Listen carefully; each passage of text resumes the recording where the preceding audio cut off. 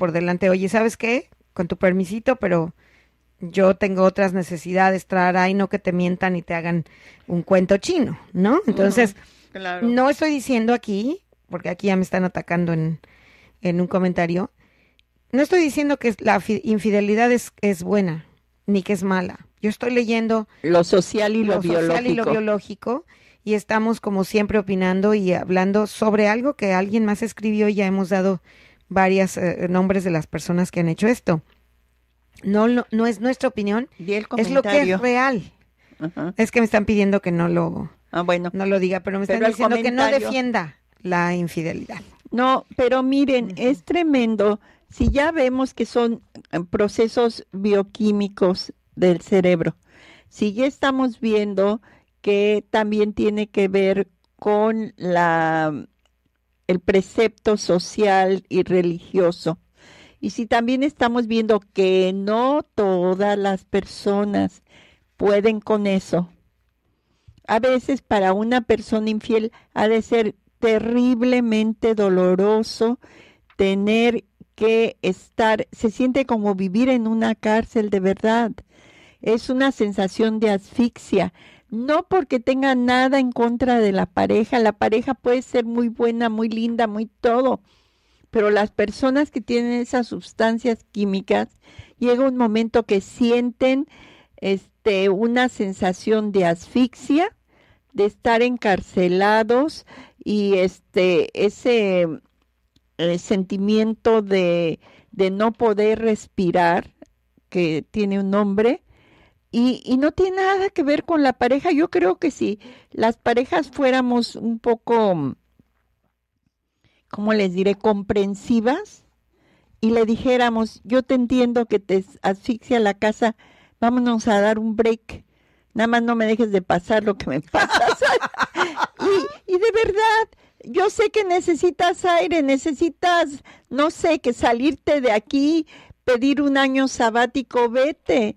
Bueno, pero porque es horrible vivir con una persona así. Bueno, pero la cuestión aquí, Estela, es, eh, yo a lo que voy, es la infidelidad, bueno, ok, la tolero, tienes otras necesidades, pero ¿por qué el engaño y por qué todo ese... El engaño viene por la presión. Y además el maltrato a sus parejas, porque hay, hay, en, hay casos en que la infidelidad se presta para... ¿Sabe lo que pasa? Imagínate una persona que está sofocada, que ya no puede más y que, y que quisiera decirlo y que quisiera hablarlo y no puede. Y además, además, que te, que te, que te acosen, que te acorralen, que te persigan. Te digo que yo, yo trabajaba con, en, en Arizona, un tiempo estuve trabajando con personas que iban a la cárcel por violencia doméstica. Y me tocó el caso de un, de un hombre que quería a su familia, la, la mantenía, la apoyaba y todo, pero la mujer era tan celosa, tan celosa, que un día él para no seguir peleando cogió su coche y se salió, sí lo platiqué una vez aquí, se fue a meter un bar a echarse unos tragos, pues la mujer lo siguió en su coche, llegó al bar y le lo puso a gritar con, lo, con la gente del bar horrores y medios, con los celos y demás y terminó él y le dio un bofetón y fue a dar a la cárcel. Por violencia doméstica, pero sí, ese, ese acorralamiento, fíjate que yo como mujer no lo aguantaría. Sí. Que me acorralaran, no podría, me volvería loca. Bueno, pues sí tiene razón. Pues aquí entre los comentarios, vuelvo a repetir, no defendemos la infidelidad tampoco. Es mi opinión. son opiniones y, y bueno, cada quien este tiene una cuestión de esta, ¿no? Aquí nos dice Corina Patiño que a ella le han roto el corazón, Sofía Leiva también dice que le han roto el corazón, y, pero ese es el único comentario. Bueno, una vez que, que llega a ser esta cuestión que hablábamos, eh, que ya te das cuenta de que pues quieres, tienes otra necesidad y tus alteraciones bioquímicas ya se fueron, entonces es posible que una de las dos parejas inicie una búsqueda de emociones con terceras personas, ya que el amor que sentía se ha muerto. La parte todavía enamorada, por lo general, presenta un síndrome de abstinencia de las sustancias químicas del amor, el cual provoca depresión, angustia y la conlleva a un estado de enfermedad conocido como melancolía. y que en los siglos XVIII y XIX llevó a innumerables personas a lo que llamaban morir de amor. Y yo voy a hablar de eso, fíjate, voy a hablar exactamente de esos dos siglos y del suicidio. bueno, eso, eso que todo el mundo dice que morir de amor no es, esto es una, una reacción química, ¿no?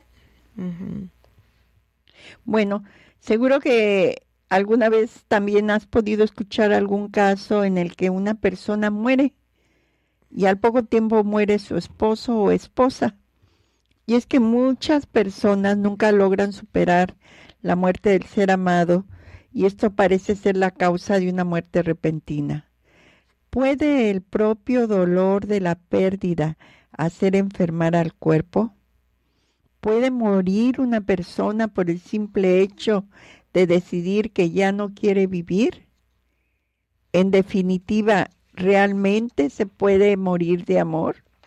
Pues algunos expertos han intentado arrojar un poco de luz sobre el tema del que nos habla Estela, y han buscado la relación entre la aflicción por la pérdida del ser amado y esos cambios que pueden reflejarse en el propio cuerpo. De hecho, muchos sostienen que la tristeza parece tener cierta relación con algunas enfermedades y que si a esto le sumamos la mala alimentación y la falta de sueño, pues esto puede acabar pasando pues factura nuestra salud. Pues sí, y todos estos síntomas de los que acaba de hablar Vero, pues se dan, porque cuando hay dolor de amor, pues no puedes dormir, no quieres comer y al final de cuentas anda uno como una ánima en pena.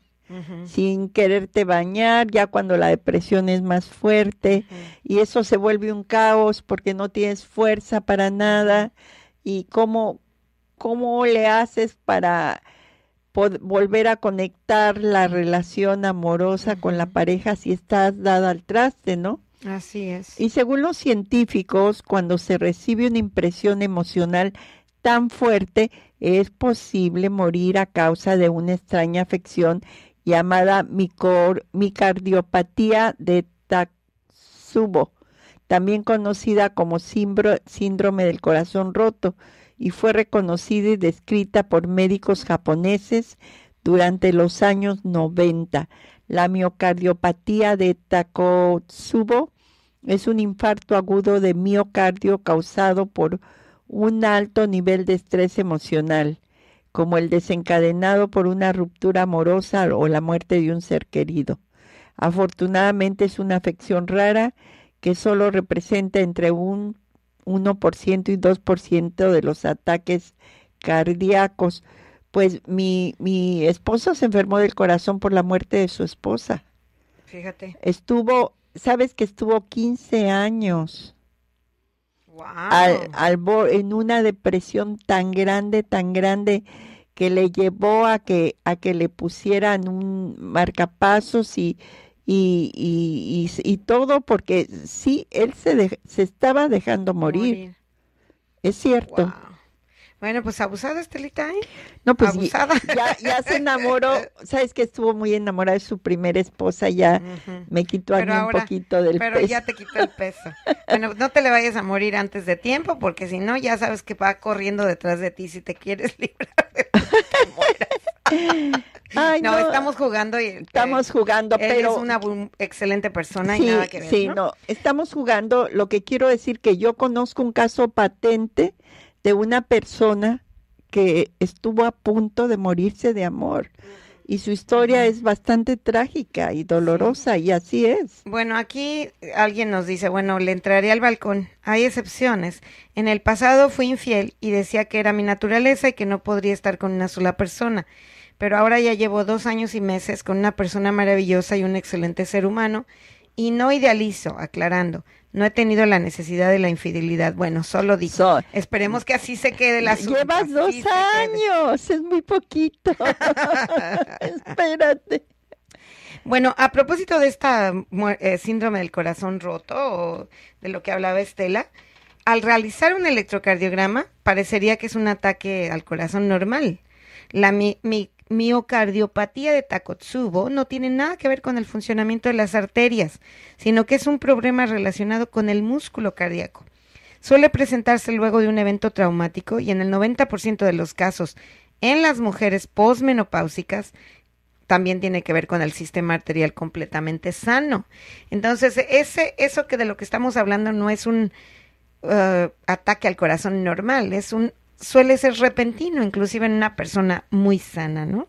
Sí, una de las preguntas más recurrentes y todavía sin respuesta es cuando dura el amor. ¿Cuánto dura? ¿Cuánto, dura el amor? Y si este puede ser para siempre. Diversos grupos de psicólogos y psiquiatras han especulado que el enamoramiento dura unos cuantos meses y después se pasa a un estado más consciente y crítico de la realidad, en el cual se empiezan a valorar las distintas características de la pareja. Es entonces cuando, en teoría, podemos definir si la relación que tenemos es realmente confiable, placentera y reconfortable. Yo creo que aquí sí estoy absolutamente de acuerdo.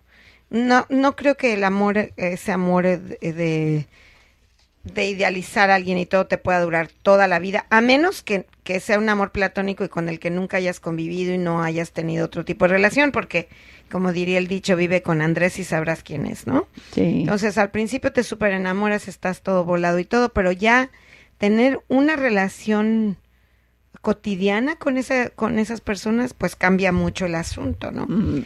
Podríamos elaborar sustancias o procedimientos de amor o tener la cura para el mal de amores, ¿ustedes qué creen? Si ya hablamos de esto, que es un, una enfermedad, pues a pesar de la gran tradición herbolaria de distintos países y del avance en la síntesis de compuestos orgánicos, aún no existen pociones mágicas para que la persona que nos interese se enamore de nosotros. Eso es imposible. Así es que todas esas brujerías y tonterías no sirven, no existen. Es necesario también recordar que la oxitocina, la vasopresina y demás moléculas mencionadas participan en la regulación de muchas funciones y no solamente en el, en el mantenimiento de los lazos sentimentales, por lo que su administración puede tener, a llegar a tener efectos colaterales importantes en nuestro organismo. Así es que no podrían darnos una poción de eso porque entonces algunas otras cosas. Oye, por cierto, aquí en un, un, una parte en Facebook, un grupo de los este eh, mexicanos en el área de la bahía, hay dos o tres brujas que están ofreciendo amarres y hasta de veras, y hasta ponen las fotos, ponen las fotos del hombre con las manos atrás y las cadenas. Yo sabes que estuve a punto de meterme en lo que no me importa, ya me conoces. Le iba a decir al, al que al administrador de ese de ese lugar, grupo. de ese grupo, este, fue ayer precisamente que estaba metiendo el, el link para nuestro programa, pero y dije, ay Dios mío, todavía existen estas personas. Así se me, se me crisparon los cabellos, dije, tengo que hacer algo. Qué barbaridad. pero me detuve. Bueno, vamos a oír Morir de Amor, ¿qué te parece? Oh, sí. Con Miguel Bosé. Oh, wow en sus mejores tiempos, y lo vieron aquí todo flaquito, guapísimo. Oh, sí. morir de amor por dentro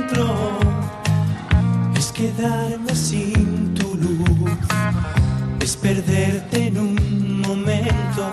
¿Cómo puedo yo decirte que lo siento? Que tu ausencia es mi dolor que yo sin tu amor me muero. Morir de amor, despacio y en silencio sin saber si todo lo